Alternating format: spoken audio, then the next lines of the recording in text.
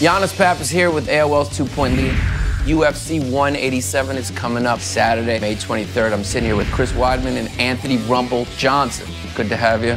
You guys are both co-headlining this event. Are you guys gonna watch each other's fights? Well, he's fighting my teammate. Yeah, yeah. I don't know if I want to see him lose. I appreciate that. Yeah, keep your eyes closed. For both of you, these are big fights. This is huge. Is Yeah. this the toughest fights you've had so far in your career? For me, it First, is. yeah. This is my first big, big battle. Daniel Cormier is definitely going to be a tough one. Every fight you feel like is the most important fight you've ever had in your life. I fought Anderson Silva twice, and I fought Lyoto Machida. I've been fighting these legends, and I have another one with Vitor Belfort. So I'm just a series of both those guys and uh, expecting a war. When I saw the first fight with you and Anderson Silva, and he was showboating and stuff, and you knocked him out, was it wrong that I thought it was funny that he was grabbing the referee's legs? Uh, Whenever that happens, it's, is that wrong? I think No, that's funny. no, it's his fault. That happens all the time. It though. does happen all the People time. Get, It's always funny, Yeah, they get caught and they, they grab the ref. Herb, Herb Dean has been down Herb about Dean's, three yeah, times, three good or four thing. times. He knows his MMA. He knows his gym. Now you're a tough guy, obviously, but your weakness is uh, gummies. You brought up the gummies, for Gummies, real? yeah. If the, your opponent carried like a package of gummies to the ring, like Jake the Snake Roberts used to do with the snake. Even We with- will for sure have a situation. It just depends on That's a depends on what brand of gummies it is. how do you stay away from gummies when you're training? There'll always be gummies whenever I retire. so I'm, I'm, I'm, I'm staying away from them for right now. Speaking about when you retire, when you guys retire, uh, what do you want to do? I heard you wanted to start a children's birthday party business. Did I have that right? I know where you're going with that one. This is two funny jokes in a row. Good for you. Is that true? No, that's not true. My gym was marketing birthday parties for kids, and I was gonna be there for the first one, so just everybody started clowning.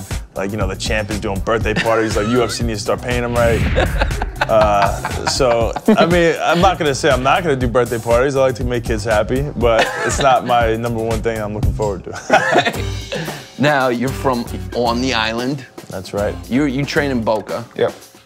A lot of Jews in both places. Who do you think has better bagels? Ah, come Long. Island or, or Boca? I don't need bagels. You don't do bagels? I bagels? don't need bagels. He's from Georgia. Just Yeah. what if you, You throw give a me- gummy on a bagel though? Just- Nah, I won't gummy touch it. I can't touch it. Come on, anybody who has a bagel place down in Florida is probably from Long Island to begin with. That's so a good point. It all stems from Long Island. How Long Island are you? I'm as Long Island as it gets. Are you take your shirt off at the club Long Island? If I'm not taking my shirt off, the guy next to me is taking his shirt off. How many Sweet 16s have you been to? A lot, yeah, a good amount.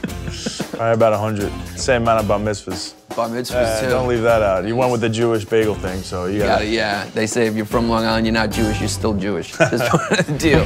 now, when you guys are doing the weigh-in stare downs, what goes through your head? Are you really like, man, I want to crush this guy, or are you like, man, I want to see, I can't wait to see the Avengers movie? And It's business, you know. You just you try and give the fans a little, you know, excitement and get them ready for a fight. Usually, the guys that you're fighting against at the top of the game, they're not getting intimidated by a stare down. right, The stare down is the easy part. right. I'm just glad I made weight Mm-hmm. and I can go and eat. Oh, that's the other thing. Yeah, we're dying. Like Yeah. at that point, as as tough as we are, we're trying to act like we are, you know, staring each other down. All we're thinking about is that is the juice or the or the water that's waiting for us. That's it. Thank you guys for coming in. Good luck at UFC 187. I really appreciate Thank it. Thank you, man. Thank you, Hope you guys it. both win. Big fans. Thank you.